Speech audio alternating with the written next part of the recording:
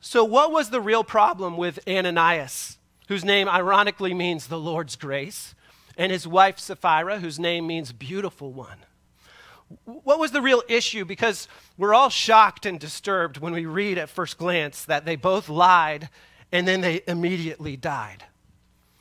What was really going on here to call for their instant death like that? Was the issue that they held back some of the sale price of their property sale?